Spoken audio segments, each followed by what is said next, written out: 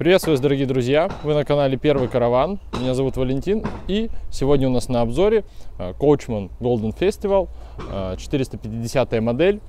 Это домик 2004 года. Весит он 840 килограмм, а его цена 699 тысяч.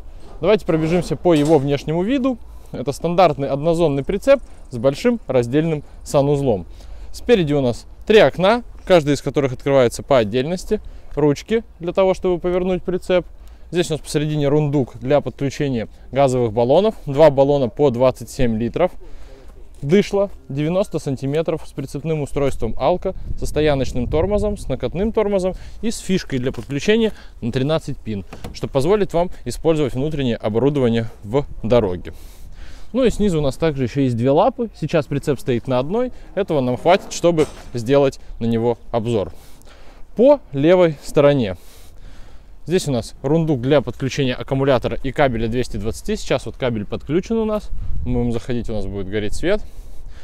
Здесь у нас подключение насоса для закачки воды, выход от газоэлектрического, газоэлектрического бойлера Трума, окошко в передней зоне отдыха, антенна для подключения, ну, точнее для радио, еще одно окошко над кухонным блоком, ну и в целом все. По этой стороне больше ничего нету. Также хочется отметить мувер, который идет здесь в комплекте.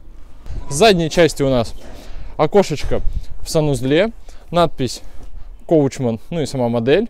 Также две ручки для поворота и две лапы для того, чтобы поставить его на упор. По, со стороны входной группы у нас находится заливка для смыва биотуалета, сам отсек для кассеты, дверь делится у нас на две части и имеет в середине вот такое вот окошечко. Решетки от холодильника. Здесь у нас патрубок для того, чтобы отапливать помещение с палаткой, подключение газового гриля, рундук свободного назначения, ну и окошечко в той же самой зоне отдыха. Сверху у нас находится телевизионная антенна. Так вот выглядит наш прицепчик. Стильненько, стандартный английский внешний вид. Ну и теперь пойдемте посмотрим, что же у нас внутри. Итак, мы с вами находимся внутри прицепа. Передняя зона у нас стандартная, она у нас универсальная. Это у нас два дивана друг напротив друга. Можете спать на них отдельно, они довольно длинные, порядка метра восьмидесяти, если убрать все вот эти боковые подушки.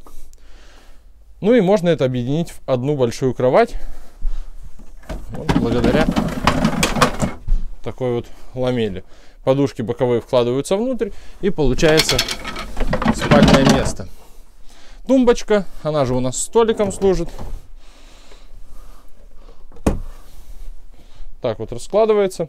Это если вы обедаете, допустим, вдвоем. Если же вы обедаете вчетвером или втроем, сюда можно поставить отдельный стол.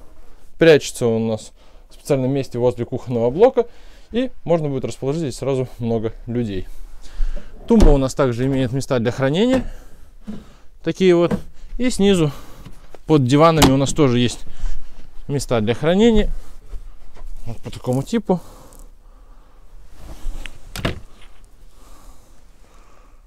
Ну и там же у нас прячется оборудование.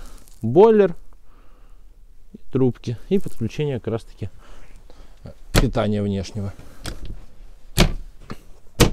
Места для хранения у нас есть также в верхней части. Это стандартные шкафчики с полочками. Ничего нового, как говорится, я для вас не открыл.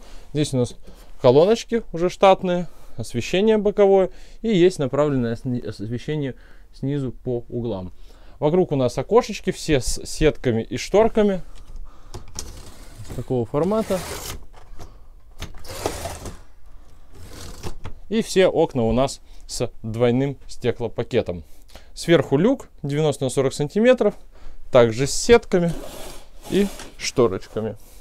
Ну а теперь давайте посмотрим на кухонный блок. Тоже довольно стандартный вид у него. Здесь у нас раковина.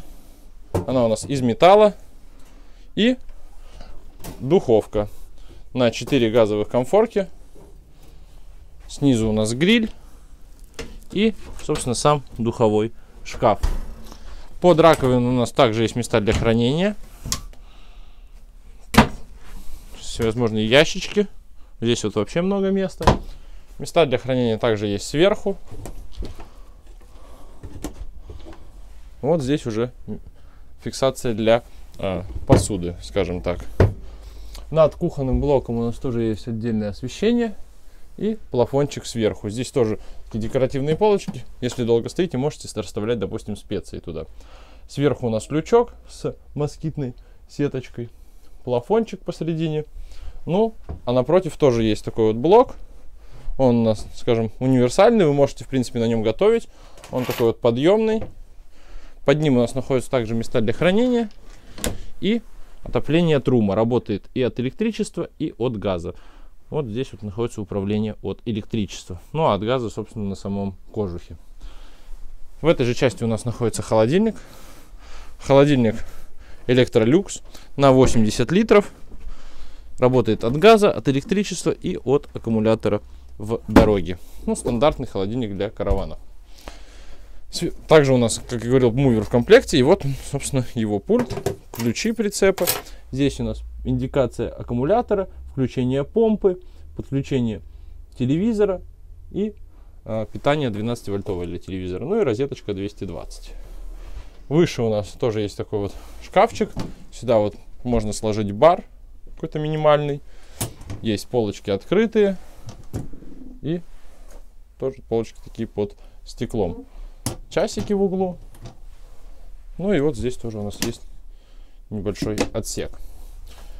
В целом по основной зоне мы с вами прошлись. Давайте еще раз пробежимся именно по внешнему виду. Ну и предлагаю перейти в санузел и посмотреть, что же у нас там. Итак, мы с вами попадаем в санузел. Здесь у нас биотуалет.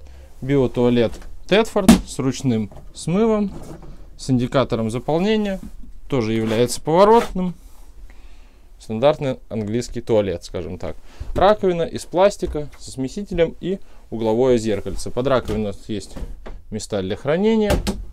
Ну и, собственно, над самой раковиной тоже есть места для хранения. Зеркала у нас во многих частях здесь установлены.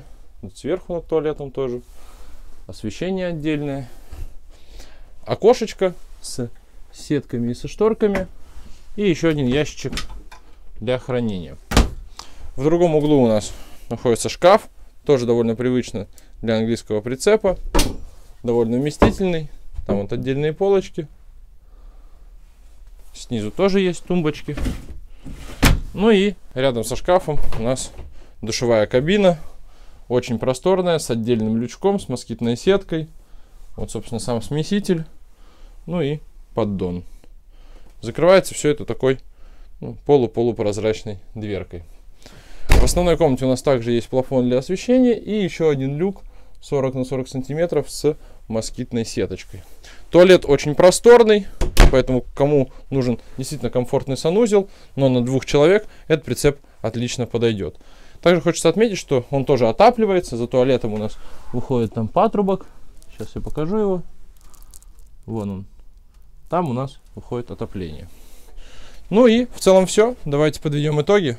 Что хочется сказать про этот прицеп? Отличная планировка, стандартная для двух человек. Будет здесь очень комфортно за счет большого санузла. Выглядит довольно свежо. Мебель на сегодняшний день, можно сказать, что относительно современная. Ну и цена его тоже невелика. Поэтому приезжайте к нам на площадку, оцените все вот это, всю эту красоту воочию, ну и переходите на наш сайт, там есть еще много предложений по караванам. Подписывайтесь на канал, дорогие друзья, всего доброго, путешествуйте!